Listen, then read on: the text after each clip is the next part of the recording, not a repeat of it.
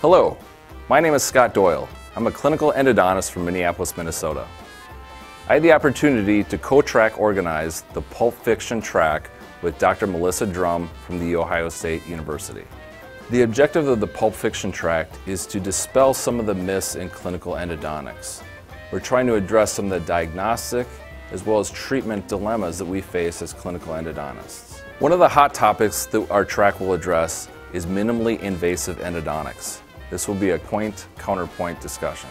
The Friday session will be completely devoted to CBCT. Initially, Dr. Bruno Azevedo will give a brief description on interpretation of CBCT volumes. Secondly, Dr. Shanon Patel will discuss some of the new research emanating from the specialty. And thirdly, there will be a panel discussion with Drs. Nimzik, Dr. Nudera, and Dr. Mo Fayad, who will discuss case applications of CBCT.